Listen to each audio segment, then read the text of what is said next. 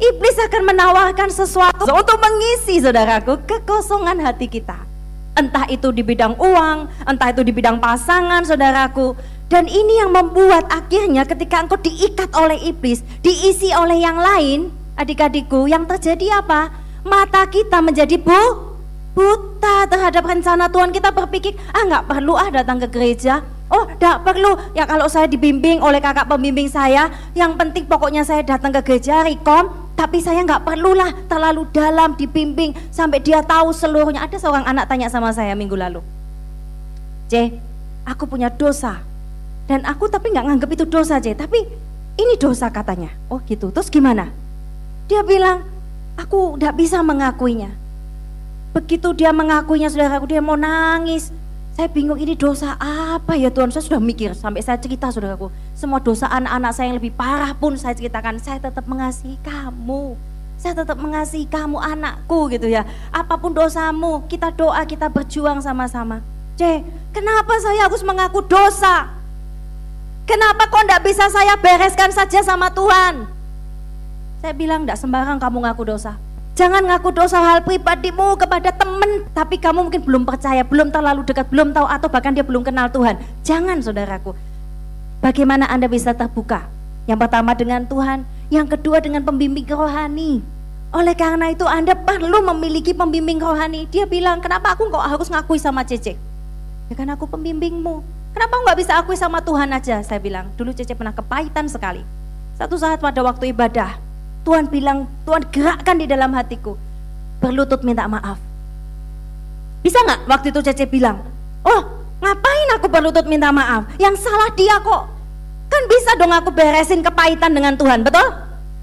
Tapi ketika roh kudus bekerja, misalnya dalam ibadah, ketika kita berdoa, ketika kita rekom saudaraku, KTB, Tuhan menggerakkan hati kita melakukan sesuatu.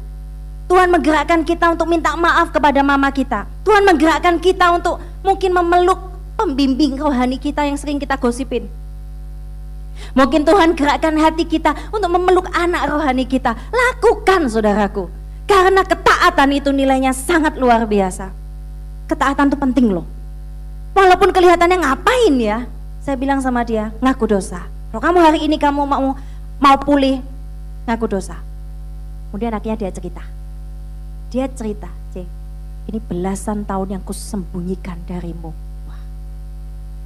Jangan sudah berpikir aneh-aneh, sudah apa ya? Kemudian dia cerita. Ternyata saudaraku mengaku dosa itu penting. Walaupun setelah mengaku dosa dia bilang gini, C, terus apa yang berubah C setelah selesai? Nothing happen ya. Gak ada yang terjadi ya C. Terus Cici bisa nolong aku? Ya enggak. Terus ngapain aku ngaku dosa C? Saya bilang, karena kalau kamu digerakkan Tuhan, lakukan taat saja. Saudaraku kita butuh pembimbing untuk kita didoakan, untuk kita diarahkan sama Tuhan. Apa sih arti dari tertanam saudaraku? Mungkin Anda berkata, Ceh, cukupkah aku datang ke gereja dan aku bisa disebut aku ini tertanam? No, tertanam itu artinya engkau satu visi, engkau betul-betul dimuridkan saudaraku. Itu tertanam. Bukan sekedar engkau datang ke sebuah gereja selesai pulang. Tetapi engkau dimuridkan, hidupmu diopeni saudaraku. Seperti keluarga, ketika kamu mau suka sama orang, kamu ngomong sama pembimbingmu, itu indah, itu keluarga. Keluarga rohani ya, itu tidak terjadi dengan otomatis saudaraku. Ikatan rohani itu akan terbentuk dengan proses. Nah, saudaraku yang dikasih Tuhan, coba kita buka satu ayat saja ya. Yeremia 31 ayat 3. Ayo coba kita buka Yeremia 31 ayat 3. Kita baca sama-sama ya. Dua, yang sudah ketemu katakan amin. Belum. Dari jauh, ya, aku mengasihi engkau dengan kasih yang kekal. Sebab itu, saudaraku, apa pun yang menjadi kekosongan hati manusia akan bisa diisi dengan satu jenis kasih ini, yaitu kasih yang kekal. Saya melihat begitu banyak anak muda lulus SMA, SMA, saudaraku, bahkan SMP sudah mahir dalam pacaran. Kalau mungkin dalam tingkat ilmu perpacaran saudara dia sudah tingkat 100, ya. Wih, ilmunya luar biasa saudaraku. Saudaraku, kenapa kok dia bisa seperti itu? Ada sesuatu kekosongan di dalam hidupnya yang nggak pernah bisa diisi oleh siapa pun. Kita sudah tahu bahwa hanya satu kasih ini yang bisa mengisi kita. Kita sudah tahu teorinya, betul? Pada kenyataannya, betul enggak? Yesus yang menjadi segalanya buat kita. Perjanjian baru saudara, di situ dikatakan pasal 31 ayatnya perikopnya apa? Perjanjian baru. Apa beda perjanjian baru dengan perjanjian lama? Kalau perjanjian lama, bangsa Israel itu harus dikasih hukum. Satu, dua, tiga, empat. Kalau kamu gak lakukan ini akibatnya satu, dua, tiga, empat. Tetapi saudaraku, justru dengan itu mereka mengenal dosa dan akhirnya melakukan dosa. Tetapi di perjanjian baru, roh Tuhan, kasih Tuhan, hukum Tuhan, itu dibilang begini, itu diukir di dalam hati kita. Itu bedanya. Kalau kalian masih, kalau kalian anak Tuhan lalu masih bertanya begini, C, pacaran ciuman itu boleh nggak sih? C, aku kedugem-dugem sampai jam 2 pagi boleh nggak sih? Ini berarti menunjukkan Anda masih belum lahir baru saudaraku. Karena orang yang sudah lahir baru, roh kudus ada di dalam dirinya, itu otomatis kita akan, oh itu firman Tuhan, hukum Tuhan itu tertulis di dalam hati kita. Kita tidak perlu lagi saudaraku tanya, oh ini pasti ya, ini salah ya, ini betul ya, kita bingung. Tapi saudaraku, oleh karena itu firman Tuhan bilang, coba kita lihat tadi ya, aku mengasihi engkau dengan kasih yang kekal, sebab itu aku melanjutkan kasih setiaku kepadamu. Kita semua harus berproses dari anak, dari remaja, dari dewasa sampai kepada kekasih. Kalau anak semua sudah ya, semua sudah berproses jadi anak. Kenapa kok kamu disebut sebagai anak? Karena kamu dilahirkan dari orang tuamu. Karena kamu berstatus sebagai anak. Kenapa kamu disebut Tuhan sebagai sahabat-sahabatnya Tuhan? Kalau kamu dekat dengan Tuhan, melakukan kehendak Tuhan dan menjadi kawan sekerja Tuhan, maka kamu akan disebut sebagai sahabat-sahabat Tuhan, bergaul dengan Tuhan. Kapan kamu disebut sebagai kekasihnya Tuhan? Untuk mengerti apa itu cinta, saya kasih tahu Anda nggak perlu pacaran. Untuk mengetahui apa itu cinta, Anda nggak perlu dengan lawan jenis. Oh kalau gitu sama jenis, C. Enggak ya. Tidak.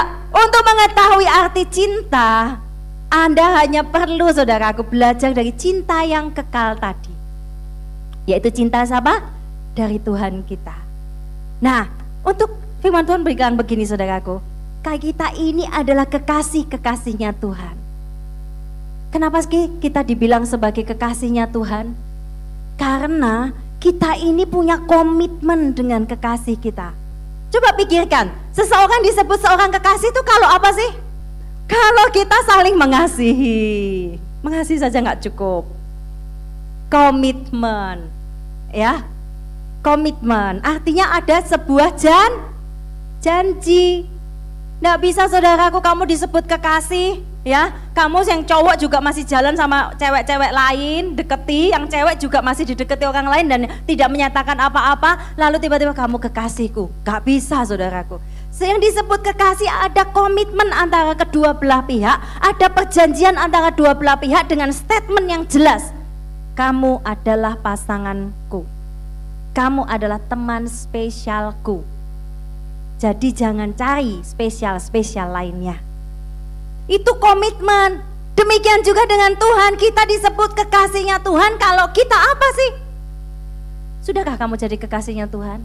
Atau cuma jadi anak saudaraku? Kasihan loh, kalau selama hidup kita sampai kita sudah gede, sudah kuliah gini, kita tuh cuma jadi anak terus. Maunya dimengerti terus. Maunya pinginnya seenaknya dewek terus. Coba kita naik tingkat dong. Jadi sahabatnya Tuhan. Enak jadi sahabatnya Tuhan. Orang yang melayani, belajar melayani, dia sedang belajar menjadi sahabatnya Tuhan. Kenapa, Cek? Karena ketika dia melayani, dia berusaha untuk mengerti kerinduan Tuhan, disakiti, dia tetap mengampuni, Walaupun terdesak dia tetap berkomitmen melayani. Ini dilatih jadi dewasa, dilatih jadi tentara Tuhan, dilatih menjadi kawan sekerjanya Tuhan. Itu bukan lagi anak-anak lagi. Tapi pada satu titik Anda harus naik tingkat lagi menjadi kekasih. Kekasih itu ada komitmen yang sangat kuat. Punyakah Anda komitmen dengan Tuhan? Ayo adik-adikku, teman-teman muda di tempat ini, punya enggak kita komitmen sama Tuhan? Komitmen yang luar biasa. Saya suka dengan sebuah lagu saudaraku. Kalau bicara tentang masalah kekasih ya. Beberapa bulan yang lalu atau setahun yang lalu saya itu menemukan lagu. Lagunya itu judulnya When I Find Him. Ketika aku menemukan dia. Diambil dari kitab Kidung Agung, saudaraku, ya. Di mana pada waktu itu dikatakan, apakah kamu menemukan kekasihku? Aku mencarinya dia ke mana-mana, jantung hatiku, di manakah dia? Saudaraku lagu ini begitu menyentuh saya. When I find him, I will not let go. Aku tidak akan membiarkan dia pergi. Pertanyaannya saya mau tanya sama Anda. Sudahkah Anda menemukan Yesus? Anda ke gereja datang pada Yesus, iya. Tapi sudahkah Anda betul-betul menemukan Yesus? Komitmen, ya. Komitmen kalau saya pelajari adalah artinya adalah hati yang utuh, tidak tergoyahkan ya, bertahan, tekad yang begitu kuat. Dan itu membuat saya semakin teguh orang yang komitmen itu sama seperti orang yang berolahraga saudara. Semakin lama, semakin lama, semakin lama ototmu akan semakin kuat. Amin. Kalau anda komitmennya cuma begini, orang yang nggak komitmen diet, saya nggak komitmen diet nggak bisa. Kalau malam sudah lapar ya makan saudara ya makan apa, nyemil apa itu tidak komitmen. Tapi orang yang komitmen semakin lama dia akan semakin kuat. Demikian juga dalam kalau Anda ikut Tuhan Yesus, Anda komitmennya cuma setengah-setengah saudaraku. Kalau males ya nggak pergi c. Ya, kalau males ya nggak doa c. Oh, kalau aku lagi nggak enak hati, ya sudah nggak usah ngampuni lah ya. Gak apa-apa. Saudaraku itu bukan komitmen. Saya kasih tahu, orang yang berkomitmen semakin lama semakin kuat. Kalian tahu firman Tuhan Paulus bilang gini, aku sudah mempertunangkan engkau dengan Kristus. Percaya enggak kita ini sudah ditunangkan dengan Kristus, amin? Amin. Dan itu artinya Anda harus punya komitmen total dengan Kristus, nggak bisa setengah-setengah saudaraku. Kalau Anda mau ikut Tuhan Yesus, ikut dengan radikal, gila-gilaan buat Tuhan, dengan semangat, dengan api yang dari Tuhan. Kalau Anda cuma setengah-setengah, maka saudaraku yang kamu dapat mungkin api-api yang asing, api kalau kamu datang kalau acaranya bagus, api yang kamu dapat karena pembimbingnya baik sama kamu, itu bukan api saudaraku. Komitmen tidak tergoyahkan. Amin. Siapa yang mau berkomitmen penuh sama Tuhan? Siapa yang selama ini merasa kamu belum komitmen penuh sama Tuhan? Angkat tangan. Mau diperbaiki? Perbaiki. Ingat pesan saya cuma sedikit, Anda semakin melatih komitmen Anda, semakin kuat Anda di dalam Tuhan. Sama seperti orang yang berolahraga, ya, miliki komitmen yang kuat sama Tuhan. Mari kita kembali kepada ceritanya saudaraku, kita lihat mereka. Saudaraku, untuk Anda punya komitmen dengan Tuhan yang kuat, Anda pertama yang harus lakukan adalah apa? Menyingkirkan pengawal? Menyelamatkan si putri? Atau menyingkirkan Prince? Siapa yang setuju? Anda memilih yang mana? Satu, dua, tiga.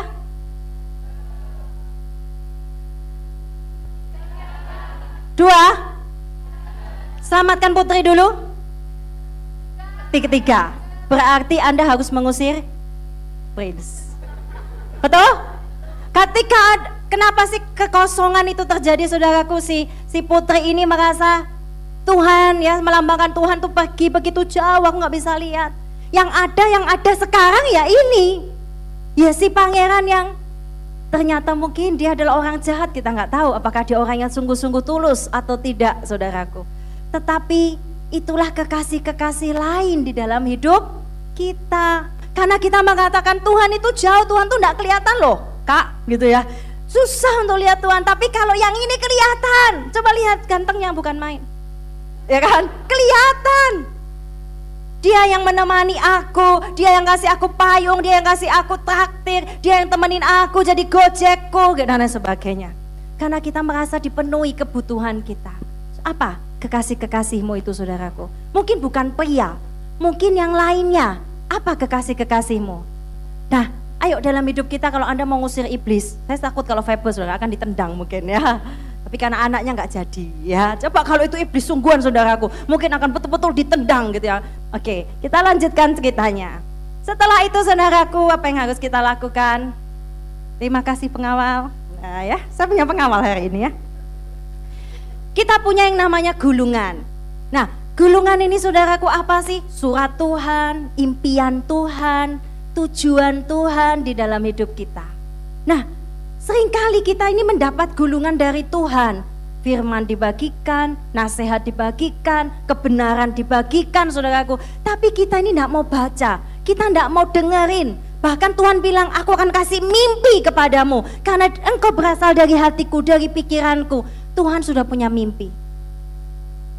Siapa yang mau tebak isi surat ini apa? Tetapi ini sebuah kisah ilustrasi bagaimana kita sebetulnya merindukan Tuhan. Kita tutup mata kita, kita berdoa saudaraku, kita bawa dalam hadirat Tuhan. Siapa di sini saya mau bertanya? Yang dalam hatinya yang paling dalam saudaraku, Anda merindukan Tuhan. Saya mau tanya sekali lagi, siapa yang dalam hatimu yang paling begitu dalam? Engkau merindukan Tuhan. Boleh buka kedua tanganmu di tempatmu masing-masing.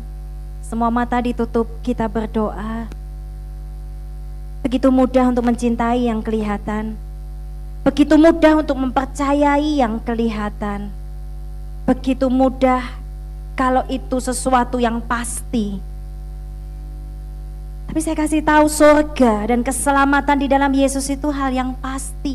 Surga itu pasti buat kita yang percaya kepada Dia. Keselamatan itu pasti, kerajaan Tuhan itu pasti, dan janji Tuhan itu pasti buat kita. Apakah engkau termasuk bilangan orang-orang yang merindukan Tuhan? Mungkin kita pernah, saudaraku, memiliki kekasih lain dalam hati kita. Kita begitu bahagianya, sibuk dengan banyak urusan.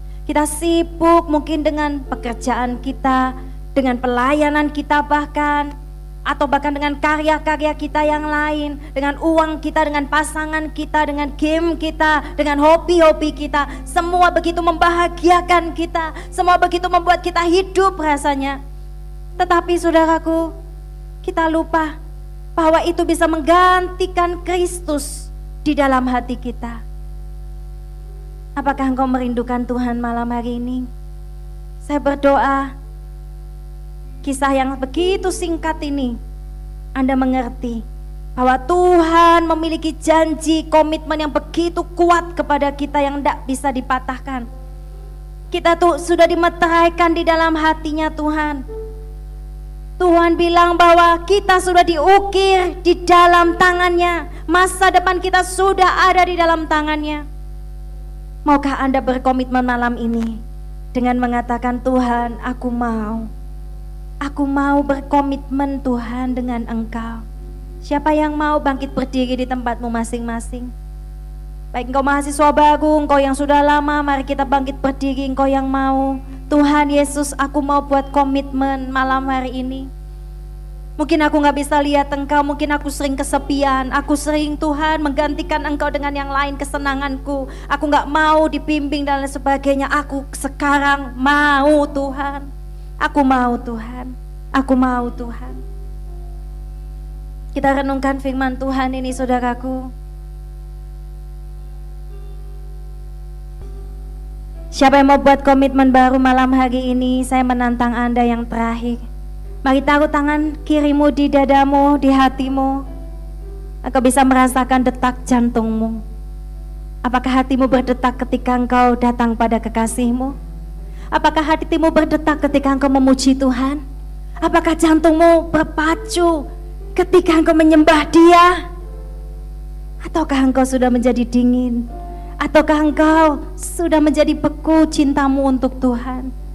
Kalau engkau berkata Tuhan aku nggak tahu apa itu mencintaimu, pegang jantung yang sudah Tuhan dekupkan di dalam dirimu. Itulah nafasnya. Degup jantung yang kau rasakan itu adalah nafas Tuhan. Dia tidak jauh darimu. Dia tidak jauh darimu.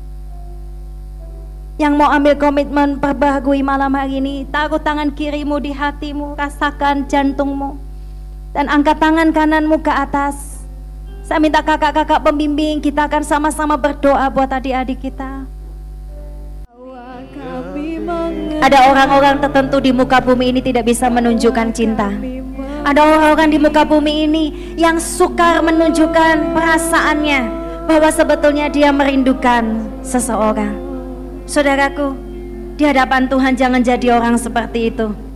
Di hadapan Tuhan jangan pernah jadi orang yang seperti itu. tunjukkan cintamu, tunjukkan perasaanmu, tunjukkan kesedihanmu, tunjukkan kekhawatiranmu. Tidak ada satupun yang tersembunyi di hadapan Tuhan.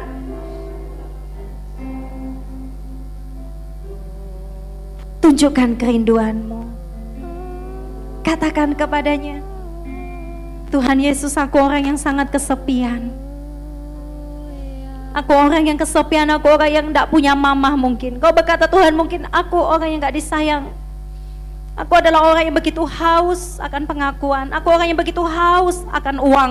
Aku orang yang begitu haus akan cinta. Tuhan Yesus, penuhi hidupku. Aku